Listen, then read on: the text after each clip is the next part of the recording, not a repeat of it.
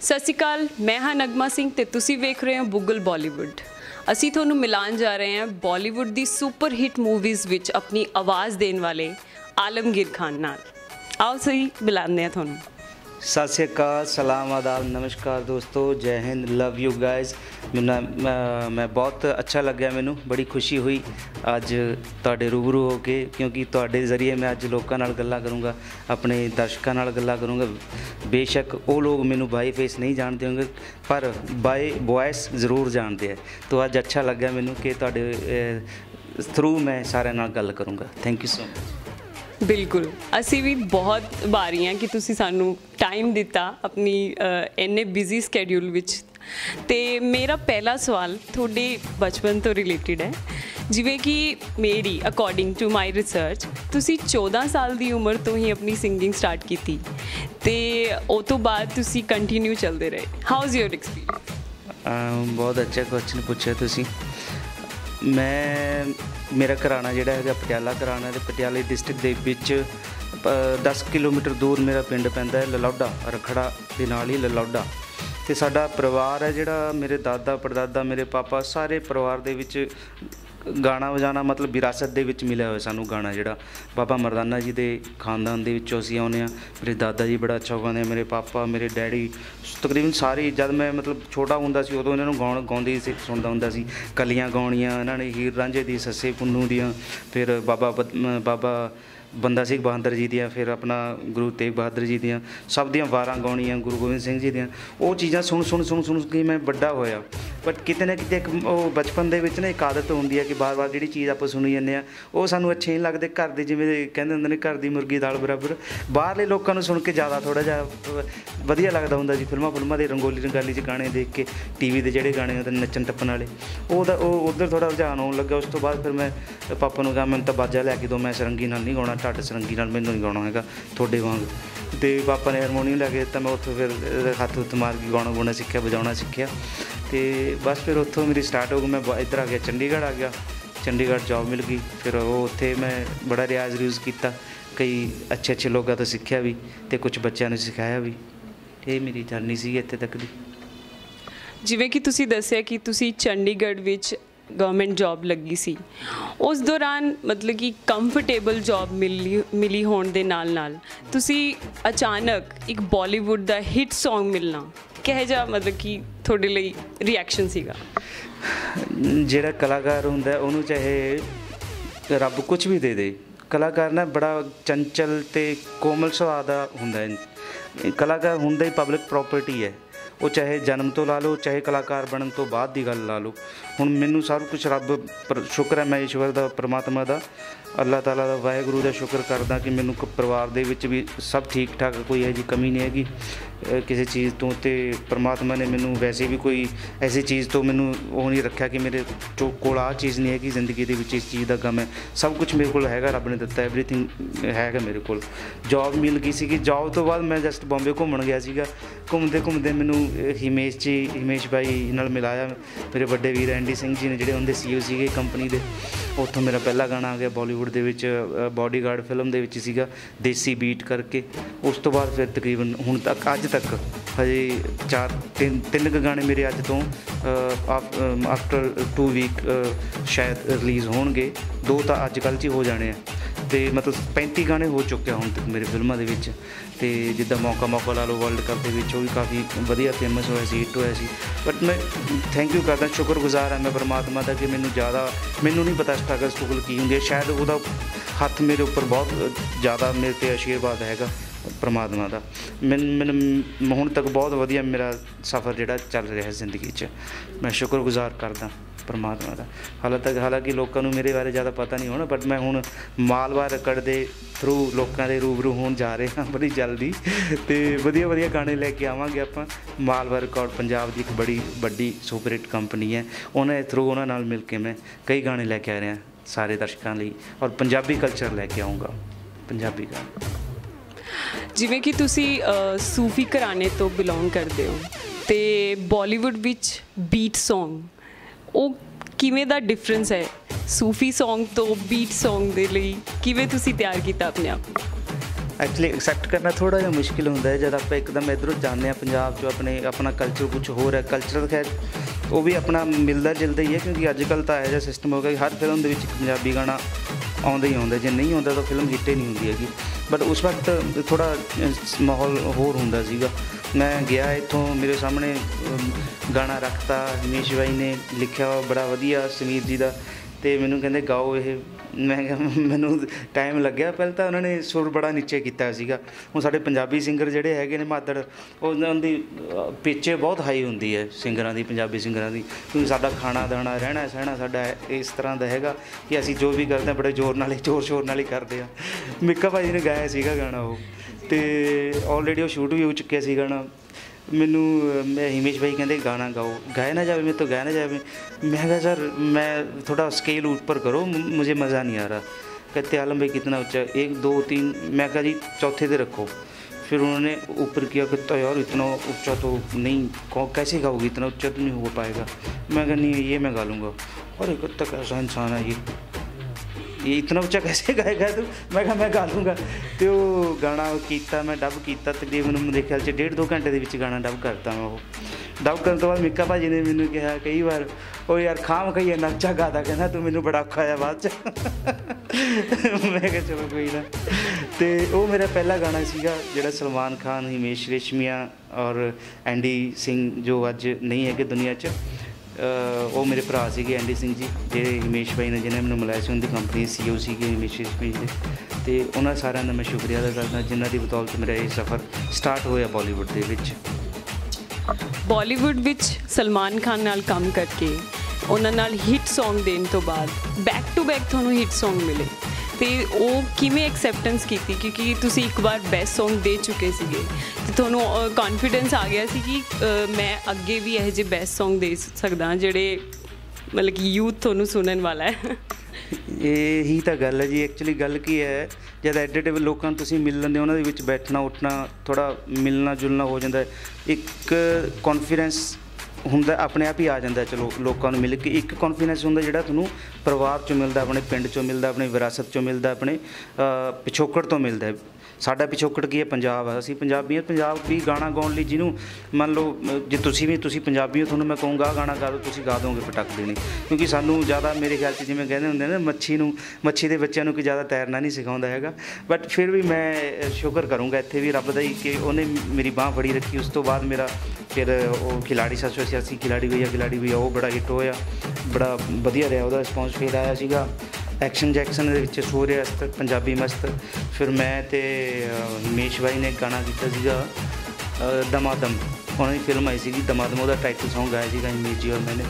ਫਿਰ ਉਸ ਤੋਂ ਬਾਅਦ ਸ਼ਾਦੀ ਕੇ ਸਾਈਡ ਇਫੈਕਟ ਉਹ ਕੀਤਾ ਸੀਗਾ। ਮੈਂ ਤੇ ਸ਼ਾਹਿਦ ਮਾਲਿਆ ਨੇ ਗਾਇਆ ਸੀ ਬੜਾ ਹਿੱਟ ਗਾਣਾ ਸੀਗਾ ਉਹ ਵੀ। ਇਮਰਾਨ ਖਾਨ ਨੇ ਉਹਨਾਂ ਨੂੰ ਅ, ਫੁੱਲ ਸਪੋਰਟ ਕੀਤਾ। ਹਾਂਜੀ ਹਾਂਜੀ। ਉਹ ਸੀਗਾ ਤੌਬਾ ਮੈਂ ਵਿਆਹ ਕਰਕੇ ਪਛਤਾਇਆ। ਬਹੁਤ ਵਧੀਆ ਗਾਣਾ ਸੀਗਾ ਉਹ। ਵੀ ਤੇ ਉਸ ਤੋਂ ਬਾਅਦ ਫਿਰ ਝੜੀਆਂ ਲੱਗ ਗਈਆਂ ਗਾਣੇ ਦੀਆਂ। ਫਿਰ ਇੱਕ ਫਿਲਮ ਆਈ ਸੀਗੀ, ਇੱਕ ਪਹਿਲੀ ਲੀਲਾ ਟੀ ਸੀ ਤੋਂ ਉਹਦੇ ਵਿੱਚ ਸੀਗਾ ਗਾਣਾ। ਉਹ ਬਹੁਤ ਬਹੁਤ ਸ਼ਾਨਦਾਰ ਗਾਣਾ ਸੀ, ਵਧੀਆ ਗਾਣਾ ਸੀ।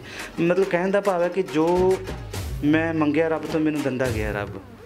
ਮੈਂ ਰੱਬ ਤੋਂ ਪੈਸਾ ਨਹੀਂ ਮੰਗਿਆ ਹੈਗਾ। ਕਾਮਯਾਬੀ ਨਹੀਂ ਮੰਗੀ ਹੈਗੀ, ਸੱਚ ਦੱਸਾਂ। ਮੈਂ ਆਪਣੇ ਰੱਬ ਤੋਂ ਮੰਗਿਆ ਕਿ ਮੇਰੇ, ਮੇਰਾ ਕਲਚਰ ਜਿਉਂਦਾ ਰਹੇ, ਮੇਰਾ ਪਰਿਵਾਰ ਤੰਦਰੁਸਤ ਰਹੇ ਤੇ ਮੇਰੇ ਯਾਰ ਦੋਸਤ ਸਾਰੇ ਖੁਸ਼ ਰਹਿਣ ਤੇ ਮੈਨੂੰ ਤੰਦਰੁਸਤੀ ਬਖਸ਼ੀ। ਬਸ ਇੰਨਾ ਕੁ ਮੰਗਿਆ ਕਿ ਜਿੰਨੇ ਮੈਨੂੰ ਖਾਣ ਦੀ ਲੋੜ ਆ ਉਹਨਾਂ ਕੁ ਮੈਨੂੰ ਦੇਈ ਜਾਈ। ਮੈਂ ਖੁਸ਼ ਹਾਂ। ਜ਼ਿਆਦਾ ਕੁਝ ਨਹੀਂ ਮੰਗਿਆ, ਸ਼ਾਇਦ ਇਸ ਕਰਕੇ ਰੱਬ ਵੀ ਮੇਰੇ ਤੋਂ ਖੁਸ਼ ਹੈ। ਮੈਨੂੰ ਦੇਈ ਜਾ ਰਿਹਾ ਸਭ ਕੁਝ ਤੁਸੀਂ ਹੁਣ ਤੱਕ ਜਿਹੜੇ ਬਾਲੀਵੁੱਡ ਦੇ Song ਗਾਏ ਨੇ, ਉਹਨਾਂ ਦੀ ਇੱਕ ਡਿਫਰੈਂਟ ਛਾਪ ਹੈ। ਲੇਕਿਨ ਤੁਸੀਂ ਇੱਕ ਮੌਕਾ ਮੌਕਾ Song ਗਾਇਆ ਹੈ, ਜਿਹੜਾ ਮੈਂ ਕਿਹਾ ਕ੍ਰਿਕਟ ਦਾ ਇੱਕ ਤਰ੍ਹਾਂ ਤੇ ਐਂਥਮ ਬਣ ਗਿਆ ਸੀਗਾ ਇੱਕ ਟਾਈਮ ਤੇ ਤੁਸੀਂ ਉਹਦਾ ਕਿਵੇਂ ਰਿਐਕਸ਼ਨ ਦੋਗੇ ਕਿ ਉਹ ਮੌਕਾ ਮੌਕਾ ਤੁਹਾਡੀ ਲਾਈਫ 'ਚ ਕਿੰਨਾ ਕੁ ਇੰਪੋਰਟੈਂਟ ਰਿਹਾ? ਮੌਕਾ ਮੌਕਾ, ਮੌਕੇ ਮੌਕੇ ਨੂੰ ਕਈ ਅਵਾਰਡ ਮਿਲ ਚੁੱਕੇ ਨੇ ਅੱਜ ਤੱਕ। ਸਟਾਰ ਸਪੋਰਟਸ ਕੋਲ ਤਕਰੀਬਨ 10 ਤੋਂ 12 ਦੀ ਗਿਣਤੀ ਦੇ ਵਿੱਚ ਅਵਾਰਡ ਮਿਲੇ ਪਹਿਲਾ ਜਿੰਗਲ ਹੈ ਵਰਲਡ ਦਾ, ਪੂਰੇ ਵਰਲਡ ਦਾ, ਇਕੱਲੇ ਇੰਡੀਆ ਦਾ ਨਹੀਂ। ਇਹ ਪੂਰੇ ਵਰਲਡ ਦਾ ਇੱਕ ਪਹਿਲਾ ਐਸਾ ਜਿੰਗਲ ਹੈ ਜਿਹੜਾ ਇੰਨਾ ਪਪੂਲਰ ਹੋਇਆ, ਇੰਨਾ ਹਿੱਟ ਹੋਇਆ। ਤੇ ਉਹ ਗਾਣਿਆਂ ਨੂੰ ਇੱਕ ਪਾਸੇ ਰੱਖੀ, ਜੇ ਬਾਲੀਵੁੱਡ ਦੇ ਗੀਤਾਂ ਨੂੰ ਇੱਕ ਪਾਸੇ ਰੱਖੀਏ, ਤੇ ਮੌਕਾ ਮੌਕਾ ਕ੍ਰਿਕਟ ਐਂਥਮ Song ਨੂੰ ਇੱਕ ਪਾਸੇ ਰੱਖੀਏ, ਤਾਂ ਮੇਰੇ ਖਿਆਲ 'ਚ ਸਭ ਤੋਂ ਜ਼ਿਆਦਾ ਮੈਨੂੰ ਲੋਕਾਂ ਨੇ ਜੇ ਪੈ- ਮੇਰੀ ਆਵਾਜ਼ ਨੂੰ ਸੁਣਿਆ ਜਿਹੜੇ ਬਾਕੀ ਗਾਣੇ ਨੇ, ਉਹ ਚਲੋ ਬਾਹਰ ਕਿਤੇ ਕਿਤੇ ਚੱਲਦੇ, ਜਿੱਥੇ ਆਪਣੇ ਇੰਡੀਅਨ ਰਹਿੰਦੇ ਨੇ, ਪੰਜਾਬੀ ਰਹਿੰਦੇ ਆ, ਪਰ ਇਹ ਸੀਗਾ ਜਿਹੜਾ ਜਿ- ਪੂਰੇ ਵਰਲਡ ਦੇ ਵਿੱਚ ਜਿੰਨੀਆਂ ਵੀ ਕ੍ਰਿਕਟ ਟੀਮਾਂ ਨੇ, ਗੋਰੇ, ਕਾਲੇ ਜਿੰਨੇ ਵੀ ਹੈਗੇ ਨੇ ਮਤਲਬ ਸਾਰੇ, ਸਾਰਿਆਂ ਨੇ ਇਹ ਮੌਕਾ ਮੌਕਾ ਗਾਇਆ। ਤੁਸੀਂ ਗੂਗਲ ਤੇ ਕੱਢ ਕੇ ਦੇਖਿਓ, ਹੁਣ ਵੀ ਟੀਵੀ ਤੇ ਕਦੇ ਜੇ ਐਡ ਚੱਲਦੀ ਹੋਈ। ਹੱਦ- ਹੁਣ 1 ਮਹੀਨੇ ਬਾਅਦ, ਅੱਜ ਤੋਂ 1 ਮਹੀਨੇ ਬਾਅਦ ਫਿਰ ਮੈਚ ਹੋਣ ਜਾ ਰਿਹਾ। ਉਹਦੇ ਲਈ ਵੀ ਇੱਕ ਮੈਂ ਗਾਣਾ ਗਾਇਆ ਸੇਮ ਉਦਾਂ ਹੀ ਇੰਡੀਆ ਪਾਕਿਸਤਾਨ ਦੇ ਮੈਚ ਲਈ। ਉਹ ਵੀ ਮੈਨੂੰ ਉਮੀਦ ਹੈ ਕਿ ਬਹੁਤ ਹੀ ਵਧੀਆ ਹਿੱਟ ਹੋਏਗਾ। ਬਹੁਤ ਅੱਛਾ ਲਿਖਿਆ ਗਾਣਾ ਉਹ ਵੀ। ਤੇ ਮੌਕਾ ਮੌਕਾ ਤੋਂ ਮੈਨੂੰ ਬਹੁਤ ਵਧੀਆ ਰਿਸਪੌਂਸ ਮਿਲਿਆ ਤੇ ਬਹੁਤ ਹੀ ਮੈਨੂੰ ਪਿਆਰ ਵੀ ਮਿਲਿਆ ਉਸ ਚੀਜ਼ ਤੋਂ, ਲੋਕਾਂ ਤੋਂ। ਕਿਉਂਕਿ ਉਹ ਇਕੱਲਾ, ਮੈਂ ਫਿਰ ਉਹ ਸਿੰਗਰ ਬਾਲੀਵੁੱਡ ਉਹਦਾ ਨਹੀਂ ਰਹਿ ਗਿਆ ਮੈਂ। ਜਦ ਇਕੱਲਾ ਪੰਜਾਬ ਕੈਟਾਗਰੀ ਦਾ ਸਿੰਗਰ ਨਹੀਂ ਰਹਿ ਗਿਆ। ਉਸ ਤੋਂ ਬਾਅਦ ਮੈਨੂੰ ਲੋਕ ਥੋੜਾ ਇਹ ਜਾਣਨ ਲੱਗੇ ਵੀ ਹਾਂ, ਆਲਮ ਇੱਕ ਐਸਾ ਸਿੰਗਰ ਹੈ, ਪੰਜਾਬੀ ਵੀ ਗਾ ਸਕਦਾ ਹੈ, ਗਜ਼ਲ ਵੀ ਗਾ ਸਕਦਾ ਹੈ, ਸੂਫੀ ਵੀ ਗਾ ਲੈਂਦਾ ਹੈ ਤੇ ਜਿੰਗਲ ਵੀ ਗਾਉਂਦਾ ਜਿੰਗਲ ਗਾਉਂਦਾ ਤਾਂ ਸੁਪਰ ਹਿੱਟ ਹੀ ਹੁੰਦਾ ਫਿਰ ਉਹ। ਇੱਕ ਇੱਕ ਇੱਕ ਉਹ ਬਣ ਗਈ ਕਹਿੰਦੇ ਹੁੰਦੇ ਨੇ ਨਾ, ਇੱਕ ਉਹ ਇਤਿਹਾਸ ਰਚਿਆ ਗਿਆ ਮੌਕਾ ਮੌਕਾ ਤੋਂ ਬਾਅਦ ਕਿ ਐਡਾ ਹਿਊਜ ਜਿੰਗਲ ਪਹਿਲਾਂ ਹੁਣ ਆਪਾਂ ਐਡ ਦੇਖਦੇ ਟੀਵੀ ਤੇ। ਕਿੰਨੇ ਆਉਂਦੇ ਨੇ ਕਿੰਨੇ ਮੈਚਾਂ ਮੁੱਚੇ ਟੀਵੀ ਤੇ ਐਡਾ ਵੱਡਾ ਆਉਂਦੀਆਂ ਨੇ ਆਉਂਦੀਆਂ ਨੇ ਜਾਂਦੀਆਂ ਨੇ ਰਹਿ ਜਾਂਦੇ ਭੁੱਲ ਜਾਂਦੇ। ਪਰ ਇਹ ਇੱਕ ਐਸੀ ਚੀਜ਼ ਸੀ ਜਿਹੜੇ ਬੱਚੇ ਬੱਚੇ ਨੇ ਗਈ ਹੈ ਤੇ ਮੇਰੇ ਖਿਆਲ 'ਚ ਜਦ ਤੱਕ ਮੈਚ ਹੁੰਦਾ ਜਦ ਤੱਕ ਇੰਡੀਆ ਪਾਕਿਸਤਾਨ ਦਾ ਮੈਚ ਹੋਊਗਾ ਤਾਂ ਇਹ ਪਟਾਕੇ ਫੁੱਟਣਗੇ ਜ਼ਰੂਰ। ਚੱਲੇਗਾ ਹਰ ਜਗ੍ਹਾ। ਤੇ ਤੁਸੀਂ ਪਟਿਆਲੇ ਘਰਾਣੇ ਤੋਂ ਹੋਣ- ਹੈਗੇ ਹੋ ਤੇ ਤੁਸੀਂ ਸੂਫੀ 뮤직 ਨੂੰ ਮੈਨੂੰ ਲੱਗਦਾ ਬਹੁਤ ਅੰਦਰ ਤੱਕ ਫੀਲ ਕੀਤਾ ਹੋਇਆ ਹੈ ਤੇ ਮੈਂ ਇੱਕ Song ਦੀ ਬਹੁਤ ਬੜੀ ਫੈਨ ਆ ਜੇ ਸ਼ਾਇਦ ਉਹ ਤੁਹਾਡੇ ਵੀ ਪਰਿਵਾਰ ਚੋਂ ਕਿਸੇ ਨੇ ਗਾਇਆ ਹੈ। ਦੱਸ ਕਿੱਥੇ ਗਿਆ ਵੇ ਤੇਰਾ ਪਿਆਰ ਟੋਲਾ। ਤੇ ਹੋ ਜਾਏ ਤਾਂ ਪਲੀਜ਼ ਮੇਰੇ ਲਈ ਇੱਕ ਦੋ ਲਾਈਨਾਂ ਤੁਸੀਂ ਗਾ ਸਕਦੇ ਹੋ ਤਾਂ ਪਲੀਜ਼ ਗਾਉਂਗਾ ਜੀ ਮੈਂ। ਇਹ ਮੇਰੇ ਦਾਦਾ ਜੀ ਦਾ ਗਾਇਆ ਸੀਗਾ ਗਾਣਾ ਤੇ ਉਹਨਾਂ ਦੇ ਨਾਲ ਪੰਜਾਬੀ ਸਿੰਗਰ ਜੈਲੀ ਜੀ, ਜੈਲੀ ਭਾਜੀ ਇਹਨਾਂ ਨੇ ਬਹੁਤ ਅੱਛਾ, ਦੋਨਾਂ ਨੇ ਬੜਾ ਵਧੀਆ ਗਾਇਆ ਸੀ। ਮੇਰਾ ਹੀ ਫੇਵਰਿਟ ਸੌਂਗ ਸੌਂਗ ਹੈ ਇਹ। ਉਹ ਸੀਗਾ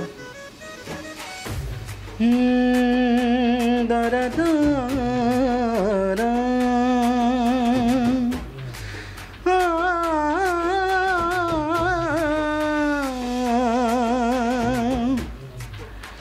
ਆ ਟੂੰਡਣ ਮੈਂ ਚੱਲੀ ਤੇ ਮੈਨੂੰ ਰਾਂਝਾ ਮਿਲਿਆ ਨਾ ਰੱਬ ਮਿਲਿਆ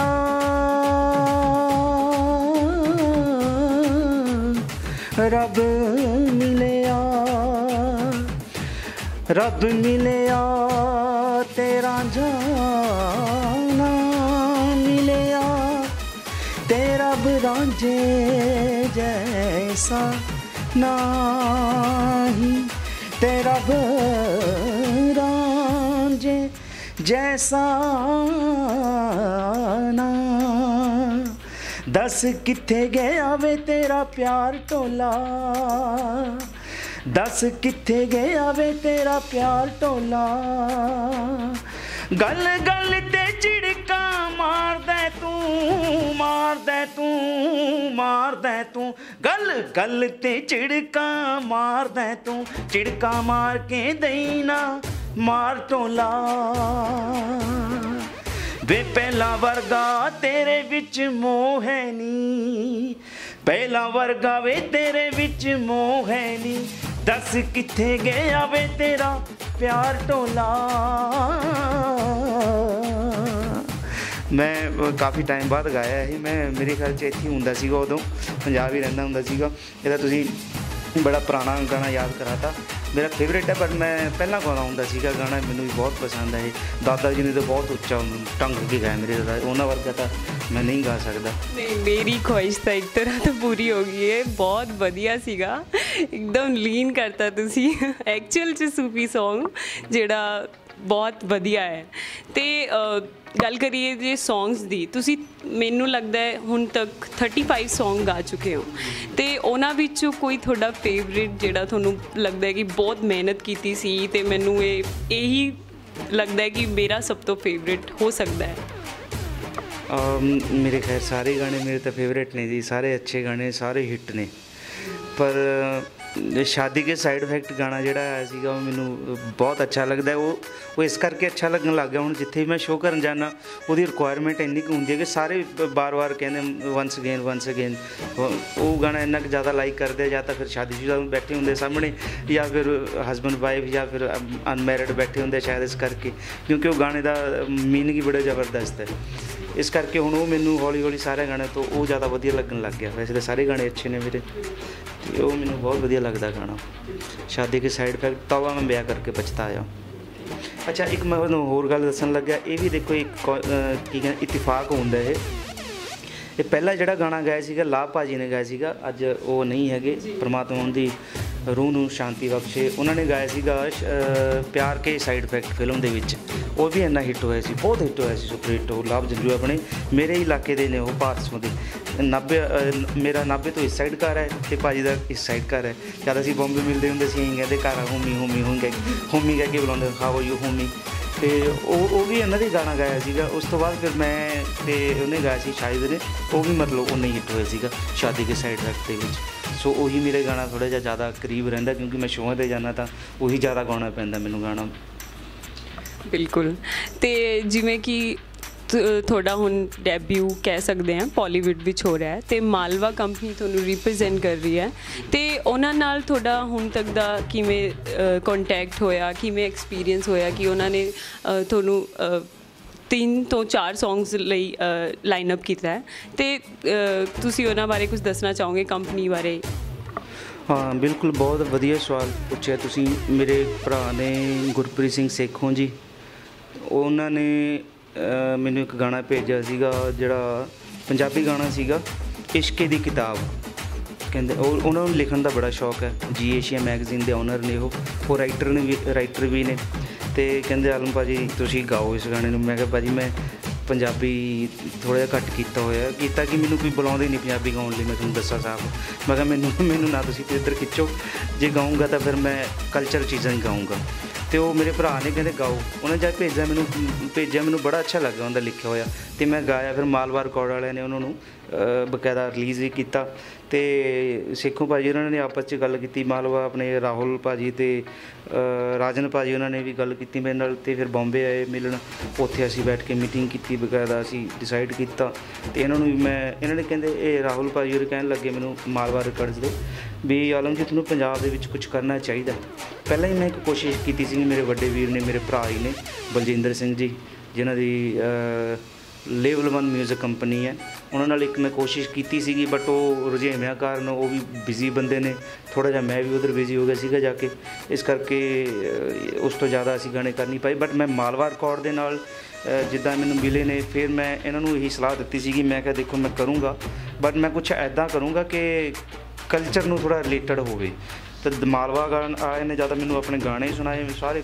ਪੰਜਾਬ ਦੇ ਗਾਣੇ ਕਲਚਰ ਦੇ ਗਾਣੇ, ਵਧੀਆ ਗਾਣੇ, ਸੋਹਣੇ ਗਾਣੇ ਸਾਰੇ ਇਹਨਾਂ ਦੇ। ਤੇ ਮੈਂ ਝਟਪਟ ਮੰਨ ਗਿਆ, ਮੈਂ ਕਿਹਾ ਜੀ ਕਰੋ ਆਪਾਂ ਕਰਦੇ ਹਾਂ ਭਾਜੀ ਤੇ ਮੈਂ ਇਹਨਾਂ ਦਾ ਸ਼ੁਕਰੀਆ ਕਰਦਾ ਕਿ ਇਹਨਾਂ ਨੇ ਮੇਰੀ ਗੱਲ ਮੰਨੀ ਤੇ ਹੁਣ ਅਸੀਂ ਕਮ ਸੇ ਕਮ ਵੱਧ ਤੋਂ ਵੱਧ ਗਾਣਾ, ਗਾਣੇ ਕਰਾਂਗੇ। ਤਿੰਨ ਚਾਰ ਗਾਣੇ ਤਾਂ ਕਰਾਂਗੇ ਕਮ ਸੇ ਕਮ। ਜੋ ਹੋ ਸਕਦਾ ਰੱਬ ਸੁੱਖ ਕੇ ਵੱਧ ਵੀ ਹੋ ਜਾਣਗੇ। ਸਾਨੂੰ ਬੇਸਬਰੀ ਨਾਲ ਤੁਹਾਡਾ ਵੇਟ ਰਹੂਗਾ ਤੇ ਉਹਨਾਂ ਦੇ ਸੌਂਗਸ ਦਾ। ਤੇ ਸੌਂਗਸ ਪਾਲੀਵੁੱਡ ਦਾ ਜਿਵੇਂ ਤੁਸੀਂ ਅੱਜਕੱਲ ਕਲਚਰ ਦੇਖ ਰਹੇ ਹੋ, ਮੇਰਾ ਥੋੜਾ ਪਰਸਨਲ ਸਵਾਲ ਹੈ ਇਹ ਕਿ ਪਾਲੀਵੁੱਡ ਵਿੱਚ ਅੱਜਕੱਲ ਦਾ ਜੋ ਕਲਚਰ ਚੱਲ ਰਿਹਾ ਹੈ ਸੌਂਗਸ ਦਾ, ਤੁਸੀਂ ਕਿੰਨੇ ਕੁ ਸੈਟੀਸਫਾਈ ਹੋ ਕਿ ਇਹ ਪੰਜਾਬ ਨੂੰ ਰਿਪਰੈਜ਼ੈਂਟ ਕਰਦਾ ਹੈ ਜਾਂ ਨਹੀਂ?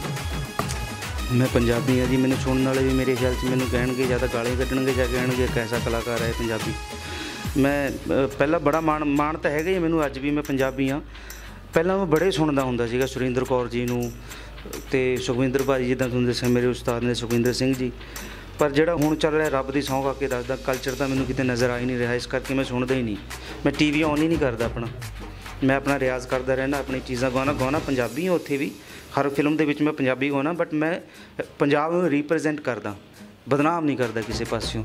ਜਿਵੇਂ ਸਾਡੇ ਸਿੰਗਰ ਅੱਜ ਕੱਲ ਦੇ ਹੈਗੇ ਨੇ, ਸਿਰਫ ਸਿਰਫ ਔਰ ਸਿਰਫ ਟੀਵੀ ਸਕਰੀਨ ਤੇ ਆਉਣ ਲਈ ਉਹ ਬੇਵਕੂਫ ਇਹਨਾਂ ਨਹੀਂ ਸੋਚਦੇ ਵੀ ਸਾਨੂੰ ਸੁਣਨ ਵਾਲੇ ਬੱਚੇ ਦੇਖਣਗੇ, ਜਿਹੜੇ ਸਾਨੂੰ ਸੁਣਨਗੇ ਟੀਵੀ ਦੇ ਉੱਪਰ। ਉਹ ਵੀ ਕਦੇ ਨਾ ਕਦੇ ਸੋਚਣਗੇ ਵੀ ਹਾਂ, ਅਸੀਂ ਵੀ ਇਸ ਕਲਾਕਾਰ ਵਰਗਾ ਬਣੀਏ ਜਾਂ ਸਟਾਰ ਵਰਗਾ ਬਣੀਏ। ਉਹ ਜਸਟ ਆਪਣਾ ਪੈਸਾ ਕਮਾਉਣ ਲਈ ਜਾਂ ਟੀਵੀ ਤੇ ਆਉਣ ਲਈ 2-4 ਮਹੀਨੇ, ਉਹ ਉਹਨਾਂ ਨੂੰ ਪਤਾ ਨਹੀਂ ਕਿ ਪਿੰਨ- ਪਿੱਛੇ ਕਿੰਨਾ ਕੁਝ ਖਰਾਬ ਕਰ ਦਿੰਦੇ ਆ। ਤੇ ਮੇਰੇ ਜਿਹੜੇ ਫੇਵਰੇਟ ਹੈਗੇ ਨੇ ਇੱਥੇ ਆਪਣੇ ਪੰਜਾਬ ਦੇ ਵਿੱਚ, ਜਿਹੜੇ ਕਲਚਰ ਨੂੰ ਜਿਨ੍ਹਾਂ ਨੇ ਸੰਭਾਲਿਆ ਹੈ ਕਮਲ ਹੀਰ ਭਾਜੀ ਮਨਮੋਹਨ ਵਾਸ ਭਾਜੀ ਤੇ ਅਹ, ਮੇਰੇ ਦਾਦਾ ਜੀ ਜਿਨ੍ਹਾਂ ਨੇ ਕਦੇ ਕਮਰਸ਼ੀਅਲ ਗਾਈ ਨਹੀਂ ਹੈਗਾ ਸਿਰਫ ਔਰ ਸਿਰਫ ਪੰਜਾਬੀ ਕਲਚਰ ਹੀ ਗਾਇਆ ਚਾਹੇ ਹੀਰ ਰਾਂਝਾ ਹੋਇਆ ਸੱਸੀ ਪੁੰਨੂ ਹੋਇਆ ਮਿਰਜ਼ਾ ਸਾਹਿਬਾ ਹੋਇਆ ਬਾਬਾ ਬੰਦਾ ਸਿੰਘ ਬਹਾਦਰ ਜੀ ਦੀਆਂ 12 ਹੋਈਆਂ ਜਾਂ ਫਿਰ ਆਪਣਾ ਮਾਨ ਸਾਹਿਬ ਹੋ ਗਏ ਗੁਰਦਾਸ ਮਾਨ ਸਾਹਿਬ ਤੇ ਹੰਸਰਾਜ ਹੰਸ ਜੀ ਸਰਦੂਲ ਸਿਕੰਦਰ ਜੀ ਹੈ ਨਾ ਸਾਡੇ ਪਟਿਆਲੇ ਤੋਂ ਨੇ ਹਰਭਜਨ ਮਾਨ ਜੀ, ਗੁਰਸੇਵਕ ਮਾਨ ਦੋਨੇ ਭਰਾ ਕਿੰਨਾ ਵਧੀਆ ਗਾਉਂਦੇ ਨੇ। ਮੈਂ ਵੀ ਥੋੜਾ ਜਿਹਾ ਇਦਾਂ ਦੀ ਕਰਨਾ ਚਾਹੁੰਦਾ ਤੇ ਇਦਾਂ ਇਦਾਂ ਦੀ ਸੁਣਨਾ ਹੀ ਪਸੰਦ ਇਦਾਂ ਹੀ ਕਰਦਾ ਮੈਂ। ਹੁਣ ਚੱਕਰ ਕੀ ਹੋ ਗਿਆ, ਸਾਡਾ ਜਿਹੜਾ ਵੈਸਟਰਨ ਕਲਚਰ ਸਾਡੇ ਵਿੱਚ ਵੜ ਗਿਆ ਨਾ, ਕਿ ਉਹਨੇ ਸਾਡੀ ਮੱਤ ਖਰਾਬ ਕਰਤੀ, ਮੱਤ ਮਾਰਤੀ ਸਾਡੀ। ਹੁਣ ਸਾਡੇ ਕੋਲ ਇੰਨਾ ਕੁ ਵਿਰਸਾ ਪਿਆ ਗਾਉਣ ਲਈ ਅਸੀਂ ਗਾ- ਚਾਹੀਏ ਤਾਂ ਸਾਡੇ ਕੋਲ ਖਤਮ ਨਾ ਹੋਵੇ ਕਦੇ ਵੀ। ਪਰ ਵੈਸਟਰਨ ਸਾਨੂੰ ਚਾਹੀਦਾ ਹੀ ਚਾਹੀਦਾ, ਉਹ ਰੈਪ ਸਾਨੂੰ ਚਾਹੀਦਾ ਹੀ ਚਾਹੀਦਾ ਉਹ ਵੱਡੀਆਂ ਗੱਡੀਆਂ ਚਾਹੇ ਮੰਗ ਕੇ ਲਿਆਓ ਕਿਸੇ ਦੀਆਂ, ਚਾਹੇ ਤੁਸੀਂ ਉਹ ਕਰਕੇ ਲੈ ਕੇ ਆਓ, ਕੀ ਕਹਿੰਦੇ ਰੈਂਟ ਤੇ ਲੈ ਕੇ ਆਓ, ਪਰ ਦਿਖਾਉਣੀ ਹੀ ਦਿਖਾਉਣੀ ਟੀਵੀ 'ਚ, ਕੁੜੀਆਂ ਦਿਖਾਉਣੀਆਂ ਹੀ ਦਿਖਾਉਣੀਆਂ ਟੀਵੀ 'ਚ। ਇੱਕ ਜ਼ਰੂਰੀ ਨਹੀਂ ਹੈਗਾ। ਪਹਿਲਾਂ ਪਹਿਲਾਂ ਤਾਂ ਕਿੱਥੇ ਹੁੰਦੇ ਸੀਗੇ ਟੀਵੀ ਟੂਵੀ, ਕਿਹੜੇ ਚੈਨਲ ਹੁੰਦੇ ਸੀ ਪਹਿਲਾਂ? ਉਦੋਂ ਵੀ ਤਾਂ ਗਾਣੇ ਚੱਲਦੇ ਹੁੰਦੇ ਸੀ, ਇਕੱਲੇ ਆਡੀਓ ਚੱਲਦੇ ਹੁੰਦੇ ਸੀਗੇ। ਟੇਪ ਆਉਂਦੇ ਸੀ ਇੱਕ ਟੇਪ ਦੇ ਵਿੱਚ 8-8 ਗਾਣੇ 10-10 ਗਾਣੇ ਆਉਣੇ। ਇਹ ਲੋਕ ਇੰਜੋਏ ਕਰਦੇ ਸੀਗੇ। ਤੇ ਟੇਪ ਰਿਕਾਰਡ ਖਰੀਦ ਕੇ ਉਹਦੇ ਵਿੱਚ ਲਾ ਕੇ, ਉੱਪਰ ਬੰਬੂਜਾ ਲਾ ਕੇ, ਫਿਰ ਲਾਊਡ ਸਪੀਕਰ ਲਾ ਕੇ ਸਾਰਾ ਪਿੰਡ ਸੁਣਦਾ ਹੁੰਦਾ ਸੀਗਾ। ਉਹ ਵੀ ਇੱਕ ਮਾਹੌਲ ਹੁੰਦਾ ਸੀਗਾ। ਤੇ ਹੁਣ ਕੰਨਾਂ ਦੇ ਵਿੱਚ ਹੈੱਡਫੋਨ ਲੱਗੇ ਹੁੰਦੇ, ਸਾਹਮਣੇ ਵੀਡੀਓ ਚੱਲਦਾ ਹੁੰਦਾ। ਹੁਣ ਨਾ ਬਾਪ ਨੂੰ ਪਤਾ ਮੇਰੀ ਧੀ ਕੀ ਦੇਖ ਰਹੀ ਹੈ ਨਾ ਧੀ ਨੂੰ ਪਤਾ ਮੇਰਾ ਭਾਈ ਕੀ ਦੇਖ ਰਿਹਾ ਹੈ ਮਤਲਬ ਕਿ ਉਹ ਹੈ ਹੀ ਨਹੀਂ ਕਈ ਸਿਆਣੇ ਤੋਂ ਸੁਣਿਆ ਵੀ ਹੈ ਮੈਂ ਸਿੰਗਰਾਂ ਤੋਂ ਵੀ ਉਹ ਕਲਚਰ ਹੈ ਨਹੀਂ ਸਾਡੇ ਕਿ ਅਸੀਂ ਇੱਕ ਜਗ੍ਹਾ ਬੈਠ ਕੇ ਟੀਵੀ ਦੇਖ ਸਕੀਏ ਤਾਂ ਮੈਂ ਤਾਂ ਬੁਰੀ ਤਰ੍ਹਾਂ ਕਹਿਣਾ ਵੀ ਬੈਡ 뮤직 ਹੈ ਬੈਡ ਬੁਰੇ ਸਿੰਗਰ ਨੇ ਸਾਡੇ ਕਲਚਰ ਨੂੰ ਜੋ ਖਰਾਬ ਕਰਦੇ ਨੇ ਜੇ ਤੁਹਾਨੂੰ ਇੱਕ ਵਾਰ ਮੌਕਾ ਮਿਲੇ ਤੇ ਤੁਸੀਂ ਸੂਫੀ 뮤직 ਨੂੰ ਜ਼ਿਆਦਾ ਅੱਗੇ ਰਿਪਰੈਜ਼ੈਂਟ ਕਰੋਗੇ ਬਾਲੀਵੁੱਡ 'ਚ ਜੇ ਅ, ਔਰ ਪੰਜਾਬੀ ਬੀਟ Song ਨੂੰ? ਮੈਂ ਤੁਹਾਨੂੰ ਇੱਕ ਹੋਰ ਗੱਲ ਯਾਦ ਯਾਦ ਆ ਗਈ ਮੇਰੇ ਗੱਲ ਕਰਦੇ ਕਰਦੇ, ਤੁਹਾਨੂੰ ਮੈਂ ਸ਼ੇਅਰ ਕਰ ਦੱਸਣਾ ਚਾਹੁੰਦਾ ਦਰਸ਼ਕਾਂ ਨੂੰ। ਹਨੀ ਸਿੰਘ ਭਾਜੀ ਦਾ, ਉਹ ਮੇਰੇ ਬੜੇ ਪਿਆਰੇ ਦੋਸਤ ਨੇ ਅਨੂਪ ਭਾਜੀ ਤੇ ਹਨੀ ਭਾਜੀ। ਹਨੀ ਭਾਜੀ ਦਾ ਪਹਿਲਾ ਗਾਣਾ ਸੀਗਾ ਬਾਲੀਵੁੱਡ ਦੇ ਵਿੱਚ, ਸ਼ਕਲ ਪੇ ਮਤ ਜਾ। ਉਦੋਂ ਮੇਰਾ ਗਾਣਾ ਸੀਗਾ, ਤਕਰੀਬਨ ਪੰਜਵਾਂ ਗਾਣਾ ਸੀਗਾ। ਹਨੀ ਭਾਜੀ ਤੇ ਅਨੂਪ ਭਾਜੀ ਆਏ ਸੀਗੇ ਉੱਥੇ ਬੰਬੇ। ਇਹਨੇ ਗਾਣਾ ਕੀਤਾ। ਕਹਿੰਦੇ, ਆਲਮ, ਤੇਰੀ ਆਵਾਜ਼ ਮਖਾਓ ਭਾਜੀ, ਆਜੋ ਆਜੋ, ਕਰਦੇ ਗਾਣਾ ਕੀਤਾ ਸੀ। ਗਾਣਾ ਆ ਵੀ ਗਿਆ, ਪਰ ਗਾਣੇ ਦੇ ਜਿਹੜਾ ਰੈਪ ਭਾਜੀ ਨੇ ਕੀਤਾ ਸੀਗਾ, ਬਾਹੀਆਤ ਗਾ- ਰੈਪ ਸੀਗਾ, ਜਮੇ ਹੀ ਉਹ ਬਦਤਮੀਜ਼ਾਂ ਵਾਲਾ ਰੈਪ ਮੈਂ ਫਿਰ ਘਰੇ ਜਾ ਕੇ ਮੈਨੂੰ ਜਾ ਕੇ ਗਾਣਾ ਸੁਣਿਆ। ਮੈਂ ਕਿਹਾ, ਮੈਂ ਯਾਰ ਇੱਥੇ ਕਲਾਕਾਰ ਬਣਨਾ ਸੀਗਾ, ਮੇਰੇ ਦਾਦੇ ਦੂਦੇ ਜੇ ਸੁਣ ਕੇ ਪਾਪੇ ਪੂਪੇ ਉਹਦੇ ਮਾਰ ਦੇਣਗੇ। ਉਹਦਾ ਕਹਿਣਗੇ, ਜਿਹੜੀ ਜ਼ਮੀਨ ਤਾਂ ਵੈਸੇ ਹੈ ਹੀ ਨਹੀਂ। ਜੇ ਮਾੜਾ ਮੋਟਾ ਦੋ ਚਾਰ ਖਾਣੇ ਹੈਗੇ ਨੇ, ਉਹ ਤੋਂ ਬੇਦਖਲ ਕਰ ਦਾਂਗੇ ਤੈਨੂੰ। ਆ ਕੇ ਗਈ ਜਾਂਦਾ ਤੂੰ ਕੰਜਰਾ? ਤੇ ਮੈਂ ਫਿਰ ਮੈਂ ਸੋਚਿਆ, ਮੈਂ ਕਿਹਾ ਮੇਰਾ ਸੁਖਿੰਦਰ ਭਾਜੀ ਵਾਂਗ, ਲਤਾ ਜੀ ਵਾਂਗ ਇਹੋ ਜਿਹਾ ਕਲਾਕਾਰ ਬਣਨਾ ਸੀਗਾ ਜਿਹੜਾ ਟੈਗ ਲੱਗ ਗਿਆ। ਇੰਨਾ ਕੁ ਮਤਲਬ ਕਿ ਚੀਪ ਰੈਪ ਬੋਲਿਆ ਸੀਗਾ, ਉਹਦੇ ਵਿੱਚ ਅੱਜ ਵੀ ਤੁਸੀਂ ਕੱਢ ਕੇ ਦੇਖਿਓ ਗੂਗਲ ਤੇ। ਜੇ ਕੋਈ ਸੁਣਨਾ ਚਾਹੇ ਤਾਂ ਸੁਣ ਲਿਓ, ਪਰ ਮੈਂ ਉੱਥੇ ਬੋਲਤਾ, ਮੈਂ ਮੇਰਾ ਨਾਮ ਨਾ ਤੁਸੀਂ ਪਾਇਓ। ਆਵਾਜ਼ ਤੁਹਾਡੀ ਮੇਰੀ ਆ ਗਈ ਹੈ, ਹੁਣ ਕੀ ਕਰ ਸਕਦਾ? ਰੈਪ ਤੁਸੀਂ ਬਾਅਦ ਚ ਬੋਲਿਆ। ਫਿਲਮ ਦੇ ਵਿੱਚ ਗਾਣਾ ਆ ਗਿਆ, ਉਹ ਹੁਣ ਮੈਂ ਫਿਲਮ ਵਾਲਿਆਂ ਪ੍ਰੋਡਿਊਸਰ ਨੂੰ ਥੋੜੀ ਕਹਿ ਸਕਦਾ ਮੇਰੇ ਚੱਕਰ 'ਚ ਜੇ ਲੜ ਕੇ ਖਾਊਂਗਾ ਕਿਸੇ ਦੀ ਚੀਜ਼ ਖਰਾਬ ਕਰਾਂ ਫਿਲਮ ਖਰਾਬ ਕਰਾਂ ਮੈਂ। ਪਰ ਮੈਂ ਉਹਨਾਂ ਨੂੰ ਕਹਤਾ ਮੈਂ ਇੰਨਾ ਕੁ ਮੇਰੇ ਤੇ ਸ਼ੁਕਰ ਕਰੋ ਮੇਰਾ ਨਾਮ ਨਾ ਪਾਇਆ ਉਸ ਫਿਲਮ ਦੇ ਵਿੱਚ। ਤਾਂ ਫਿਰ ਉਹਨਾਂ ਨੇ ਨਾਮ ਰੱਖਿਆ ਵੀ ਨਹੀਂ ਸੀਗਾ ਭਾਈ ਜੀ ਨੇ। ਮਤਲਬ ਇੰਨਾ ਕਿ ਮੈਂ ਆਪਣੇ ਕਲਚਰ ਨੂੰ ਉਹ ਕਰਦਾ। ਸਿਕਿਉਰ ਹੋ ਕੇ ਚੱਲਦਾ ਆਪਣੇ ਕਲਚਰ ਤੋਂ ਤਾਂ ਕਿ ਮੈਨੂੰ ਮੈਂ ਕਿਤੇ ਪਿੰਡ ਜਾਵਾਂ ਮੇਰੇ ਪਿੰਡ ਦਾ ਕੋਈ ਐ ਨਾ ਕਹਦੇ ਉਹ ਕਹੇ ਜੇ ਗਾਣੇ ਗਾਉਣ ਲੱਗਿਆ ਤੂੰ। ਤੂੰ ਤਾਂ ਵਧੀਆ ਕਲਾਕਾਰ ਹੈ ਤੇਰਾ ਤਾਂ ਖਾਨਦਾਨ ਅੱਛਾ ਗਾਉਣਾ ਹੈ, ਤੁਹਾਨੂੰ ਤਾਂ ਗਾਣਾ ਆਉਂਦਾ ਹੈ। ਜਿਨ੍ਹਾਂ ਨੂੰ ਗਾਉਣਾ ਨਹੀਂ ਆਉਂਦਾ ਉਹ ਲੋਕ ਐ ਜੇ ਗਾਉਂਦੇ ਨੇ ਪਬਲਿਕ ਪਬਲਿਸਿਟੀ ਲੈਣ ਲਈ। ਤੁਹਾਨੂੰ ਤਾਂ ਗਾਉਣਾ ਆਉਂਦਾ ਤੁਸੀਂ ਇਹੋ ਜਿਹਾ ਕੁਝ ਨਾ ਕਰਿਆ ਕਰੋ। ਇਹ ਕੋਈ ਨਾ ਮੈਨੂੰ ਕਹੇ ਇਸ ਕਰਕੇ ਮੈਂ ਇਹਨਾਂ ਤੋਂ ਦੂਰ ਹੀ ਰਹਿਣਾ ਇਹੋ ਜਿਹੇ ਗਾਣਿਆਂ ਤੋਂ। ਬਿਲਕੁਲ, ਅਸੀਂ ਹੋਪ ਕਰਾਂਗੇ ਕਿ ਤੁਸੀਂ ਜਿਵੇਂ ਸੂਫੀ 뮤직 ਨੂੰ ਰਿਪਰੈਜ਼ੈਂਟ ਕੀਤਾ ਹੈ ਤੇ ਪੰਜਾਬੀ ਪੰਜਾਬੀਅਤ ਨੂੰ ਬਾਲੀਵੁੱਡ ਵਿੱਚ ਰਿਪਰੈਜ਼ੈਂਟ ਕੀਤਾ ਹੈ, ਅਸੀਂ ਹੋਪ ਕਰਾਂਗੇ ਕਿ ਤੁਸੀਂ ਬਾਲੀਵੁੱਡ ਬਾਲੀਵੁੱਡ ਵਿੱਚ ਵੀ ਆਪਣਾ ਐਵੇਂ ਹੀ ਰੰਗ ਛੋੜਦੇ ਰਹੋ। ਸਾਡੀ ਤਾਂ ਜੀ, ਇਹ ਤਾਂ ਸਾਡੀ ਮਿੱਟੀ ਹੈ, ਇਹਦੇ ਲਈ ਤਾਂ ਅਸੀਂ ਜਾਨ ਵੀ ਦੇਣ ਨੂੰ ਤਿਆਰ ਹਾਂ, ਪਰ ਮੈਂ ਚਾਹੂੰਗਾ ਕਿ ਮੇਰੇ ਇਕੱਲੇ ਨਾਲ ਕੁਝ ਨਹੀਂ ਹੋਣਾ, ਮੈਂ ਤਾਂ ਗਾਊਂਗਾ ਹੀ ਗਾਊਂਗਾ। ਮੈਂ ਚਾਹੁੰਦਾ ਵੀ ਸਾਰੇ ਸਿੰਗਰਾਂ ਨੂੰ ਬੇਨਤੀ ਹੋਇਆ ਭਰਾਵੋ ਅਰਜ਼ੀ ਹੱਥ ਜੋੜ ਕੇ ਕਿ ਵਧੀਆ ਗਾਓ ਵਧੀਆ ਲਿਖੋ ਰਾਈਟਰਾਂ ਨੂੰ ਕਹੂੰਗਾ ਤੇ ਵੀਡੀਓ ਡਾਇਰੈਕਟਰਾਂ ਨੂੰ ਕਹੂੰਗਾ ਵਧੀਆ ਵੀਡੀਓ ਬਣਾਓ। ਕਲਚਰ ਨੂੰ ਰੱਖਿਆ ਕਰੋ ਵਿੱਚ ਥੋੜਾ ਜਿਹਾ ਜ਼ਰੂਰੀ ਹੈ। ਤੇ ਬੱਚਿਆਂ ਲਈ ਥੋੜਾ ਜਿਹਾ ਵਧੀਆ ਜਿਵੇਂ ਅ, ਭਾਜੀ ਗਾਉਂਦੇ ਆ ਮਨਮੋਹਨ ਭਾਜੀ ਬੱਚਿਆਂ ਨੂੰ ਦੱਸਿਓ ਪੰਜਾਬ ਕਿਹਨੂੰ ਕਹਿੰਦੇ ਨੇ ਸਾਡਾ ਪੰਜਾਬ ਚੇਂਜ ਹੁੰਦਾ ਜਾਂਦਾ ਹੁਣ ਮੈਂ ਮ- ਇੱਥੇ ਚੰਡੀਗੜ੍ਹ ਆਇਆ ਕਈ ਸਾਲਾਂ ਬਾਅਦ। ਬੰਬੇ ਰਹਿੰਦਾ ਸੀ ਵੱਡੀਆਂ ਵੱਡੀਆਂ ਬਿਲਡਿੰਗਾਂ ਦੇਖਦਾ ਇਹ ਸਭ। ਹੁਣ ਮੋਹਾਲੀ ਆ ਕੇ ਦੇਖ ਰਿਹਾ ਮੈਂ ਉਹੀ ਸੇਮ ਹੀ ਹੋ ਚੁੱਕਿਆ ਮਾਹੌਲ ਬੰਬੇ ਵਾਲੀ ਬਿਲਡਿੰਗਾਂ ਬੁਲਡਿੰਗਾਂ ਬਣ ਗਿਆ। ਵਧੀਆ ਗੱਲ ਹੈ, ਅਸੀਂ ਸਾਡੀ ਤਰੱਕੀ ਹੋ ਰਹੀ ਹੈ, ਅਸੀਂ ਅੱਗੇ ਵਧ ਰਹੇ ਹਾਂ। ਚੰਗੀ ਗੱਲ ਵੀ ਹੈ, ਪਰ ਕਿਤੇ ਨਾ ਕਿਤੇ ਸਾਡਾ ਕੁਝ ਨਾ ਕੁਝ ਛੁੱਟ ਵੀ ਰਿਹਾ ਹੈ ਪਿੱਛੇ।